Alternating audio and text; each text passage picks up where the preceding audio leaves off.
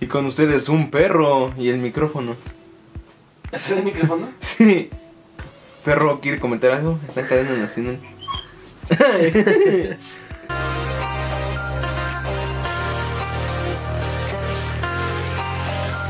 Noob Entertainment. Entretenimiento para noobs. Hola amigos, ¿cómo están? Bienvenidos a un nuevo video en Noob Entertainment. El día de hoy continuamos con las reseñas y opiniones de anime de la temporada invierno 2019 y continuamos con uno de los animes creo que poco conocidos de la temporada, pero tengo que decir que uno de los más interesantes. Y estamos hablando de Kemurikusa, que creo que se traduce algo así como la planta que produce humo.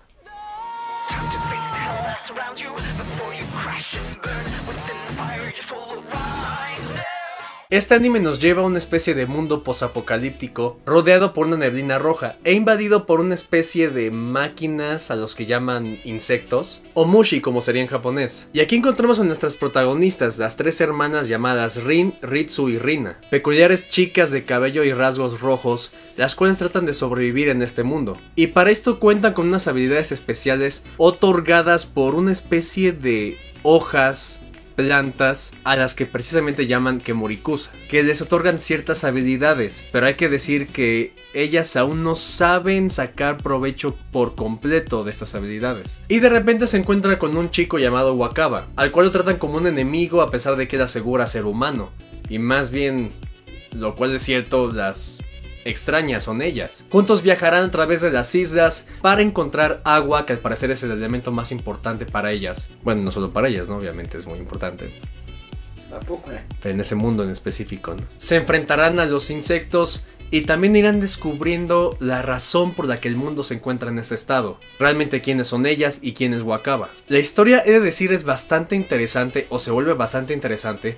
Tiene el problema de que inicia, digámoslo de esta manera ya empezada, y no dan muchas respuestas. Es como si dieran por hecho que ya sabemos lo que está pasando, qué es el que Morikusa, cómo funciona. Y hay que decir que estos detalles ya los van revelando, y eso a medias, en los últimos dos capítulos más o menos. Así que por desgracia perdió la atención de muchos. Eso y aparte de su animación que es puro CGI, lo cual como decíamos en High School Girl, pues no es tan fluida la animación. Y esto pues termina afectando también las escenas de pelea, lo cual es creo que en parte de lo interesante de la historia. Por suerte, a mi parecer, mejora conforme avanzan los capítulos, o como ya decía yo con High School Girl, al final pasa a segundo plano debido a la historia, ya que es bastante interesante, bastante intrigante más que nada. Si sigues la regla general de no dropear un anime hasta el tercer capítulo, realmente te va a atrapar, porque a pesar de que tiene como una temática algo infantil. No solo por cómo se ve el anime, sino por las frases de los personajes, por cómo hablan. Sorprende más adelante porque la historia se va haciendo más profunda. Realmente no puedo decir más de la historia porque sería spoileárselas. Si les interesa empezar a verla, recomiendo que lo hagan hasta el final. Me parece que hay como nueve capítulos numerados desde el 0.1 al 0.9 que se sacaron en Twitter y en YouTube y que duran aproximadamente uno o dos minutos, pero son precuelas más que nada para presentar a las hermanas, no dan gran detalle. Y una cosa importante que olvidaba es que está basado en unas onas que salieron en el 2012 me parece. No las he visto, pero hasta donde tengo entendido manejan una historia similar, que hasta donde sé siguen sin dar las respuestas que necesitamos. Mucha gente espera una segunda temporada, dudo mucho que la hagan, pero sí esperaría una especie de precuela. Pasando con los personajes, tenemos a las hermanas que tienen características muy peculiares, muy bien definidas para cada una de ellas.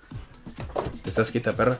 Eso también se incluye en sus habilidades. Y no solo son ellas, ya que al parecer hay más hermanas que están muertas, pero las llegamos a ver en cierto momento de la historia. Wakaba empieza bastante irritante, ya que es un tipo bastante curioso. Y cuando aparece no tiene memoria. Entonces empieza a descubrir todos los detalles de este mundo apocalíptico, desolado, con seres bastante extraños. Y en especial lo que le impresiona y a lo que se vuelve, digamos, de alguna manera adicto, es al que Morikusa. No hay más personajes, los insectos pues ya iremos viendo poco a poco más o menos de dónde sale. Repito, muchas cosas se revelan en los últimos capítulos y hay algunas que aún así quedan a la deriva. De la animación ya dije lo más importante, es completamente hecha por computadora, no es muy fluida pero va mejorando a lo largo de la serie, aunque sea un poco. También hay que decir que este anime está a cargo del director Tatsuki y el estudio Yaoyorosu, los cuales son la gente detrás de que Friends, otra historia muy famosa, que me parece va como por su segunda temporada. Incluso hay gente que dice que que Friends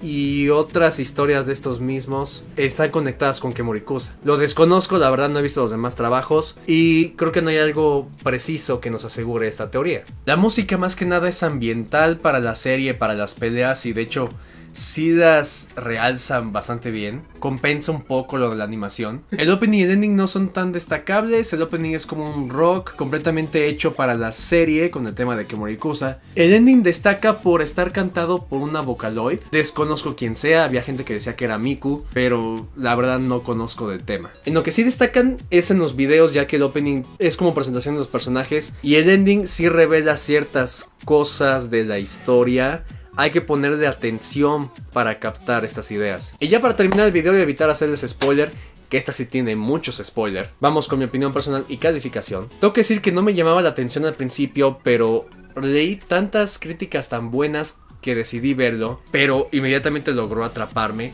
La animación sí me molestaba bastante, digo, no es de mi gusto, pero realmente la historia lo vale, se vuelve muy buena y rayos, los últimos dos, tres capítulos de verdad valen la pena. Yo sí espero que sigan sacando más material porque, repito, hay muchas dudas que dejaron al aire. Me gustaría saber más de este misterioso mundo. Realmente quisiera decirles más cosas, pero ya sería arruinarles la serie, así que más bien recomiendo que la vean. Tengo entendido que está para verse en Amazon, así que por ahí pueden empezar a buscarla. Hay que hacer la promoción del anime legal. Yo lo veo ilegal, ¿no? Pero hay que hacer que la gente lo vea legal. La gente que puede que pague por ello, ¿no? Uh, que coman pasteles, dice el Yo la voy a dejar con un 8. Quisiera más, pero la verdad creo que la termina arruinando la animación. Así que simplemente un 8. Es una muy buena calificación. De verdad es un anime bastante recomendable. Si les llega a aburrir al principio, de verdad espero que lo terminen. Me vale más. Sí, a la fregada lo terminan porque lo digo yo. No, la verdad vale, vale mucho la pena. Es una historia bastante interesante. Un mundo muy curioso que crearon. Y hasta aquí el video de hoy, espero que les haya gustado. Si fue así no olviden darle manita arriba, comentar, compartir y suscribirse para nuevo contenido. Darle la campanita para que les avise cuando subamos nuevo video. Y seguirnos en nuestras redes sociales, Facebook e Instagram y una que otra red personal que os vamos a dejar por aquí. Ya sin nada más que comentar aquí me despido, soy Lalo Fonseca. Yo soy el señor Chucha, yo como prefiera. Y nos vemos en el próximo video. Hasta luego.